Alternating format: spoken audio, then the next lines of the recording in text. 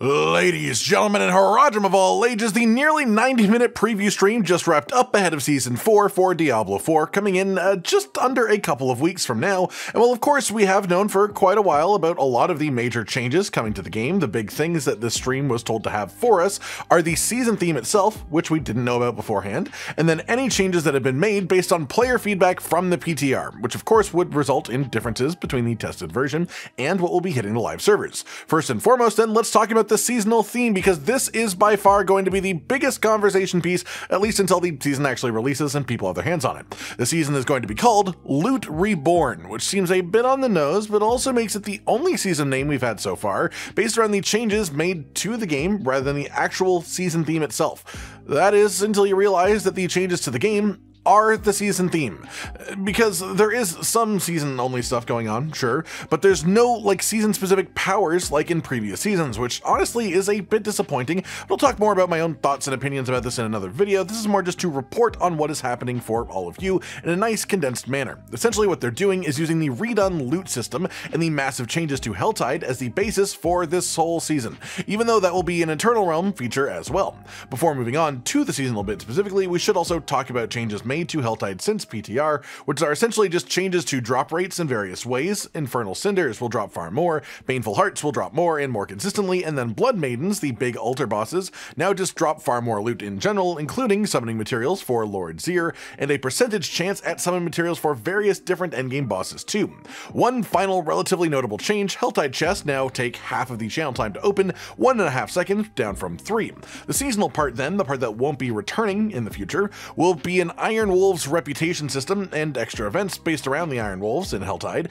and the new Call of the Wolves seasonal activity that all that is contained within because it's essentially just a name for the questline and reputation system that is tied to the Iron Wolves and specifically Helltide itself. So essentially we're just taking the stuff that they changed as a permanent feature for the game and making it the seasonal mechanic. The reputation track theoretically does though contain items that are quote unquote super juiced and intended to make you feel overpowered with every item that you get along the track through your journey and the point at which you get it, including even a resplendent spark at the end here for creating uber uniques of your own choice, which is pretty nice. Then there is also the new sort of activity, which is a consumable called the Profane Mind Cage. This raises the level of monsters in your Helltide for its full duration by 10, and also raises the Cinder drop rate during this effect, as well as increasing your threat meter gain too. These also stack with one another if you have multiple, so theoretically the goal of this is to let you sort of tailor the difficulty of Helltide to your own character and the resulting wards that you get too. Then we have some boss ladder specific changes, most notably that all Uber bosses now have a decent chance of dropping Uber uniques.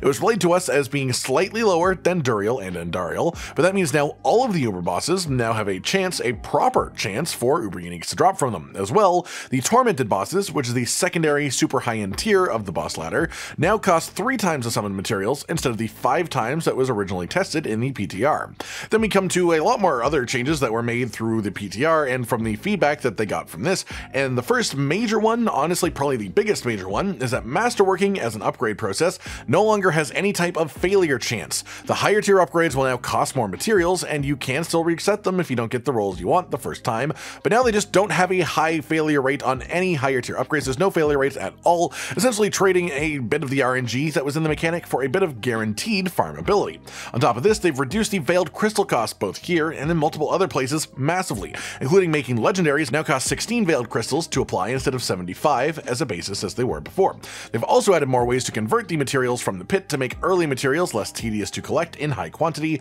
and then we also have changes to tempering, including a button to skip the animation, a screen to show the results after you temper, and they also uh, specifically specified that the current tempering manuals are intended as a base for the system, with room to add loads more manuals with much more interesting affixes over time. They also changed greater affixes just a little bit, adding a new symbol both on drop and in inventory to differentiate between them better. Past this, the main other change mentioned was that the Veiled Crystals should just be far more plentiful to actually drop, with Sacred items now salvaging for twice as many materials as base items, and Ancestrals now salvaging for three times as much. Then we also have changes to both Nightmare Dungeons and the Artificer's Pit, which now both drop scaling amounts of obols at higher tiers, which is important, especially now, as a different change that was made is the Gambling Vendor in towns will now always give you 925 item power items if you are level 100. 100, which is absolutely massive. Another giant change here to the game between PTR and now specifically, which wasn't even actually really based on player feedback itself, but this is a change being made so that the devs can just in future balance the deeper, harder, and more challenging endgame things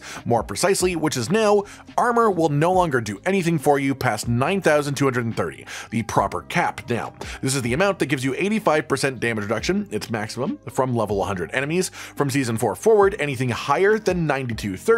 is a waste of armor. That is a genuine factual cap, simple as that from this point forward. Past that, just a few balance changes being made from around the PTR as well. Much more general things such as various tempering affixes being moved around to different manuals or having their own statistical values changed, and larger caps being added to certain stats too so that balancing can be a bit more under control, such as area size for abilities being capped at bonus 100% or cooldown reduction now being capped at 75%, which is honestly an extremely high place for the cap to even be, so capping it there feels absolutely fair. As well as that, just a number of changes to make performance a bit smoother on some of the more sillier results of the new systems too, while also increasing power in return where necessary to sort of just even it out. Then just one more slight thing that we will see more of when we get the full picture on season release, but the season journey has been adjusted to sort of give each class a full, strong build by level 100. The idea being that they are giving you specific high value versions of affixes with synergy along your path, pushing you towards a certain playstyle to begin the season as for each class,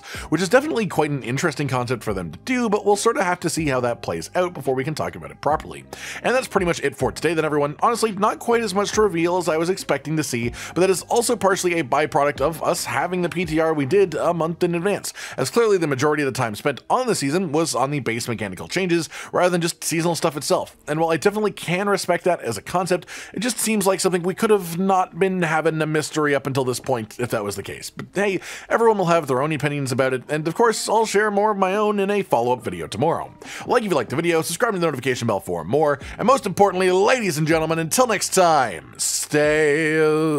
sweet. Josh, Cotton, and Hollow with the videos, dropping the humor like a hammer on your tippy toes, bringing entertainment on a daily arrangement to take our insanity and turn it into entertainment. Yes, I said entertainment twice to reiterate that it is nice to look into your faces on a mostly daily basis when you let us in your homes to make the whole world a stage. Is uh goodbye.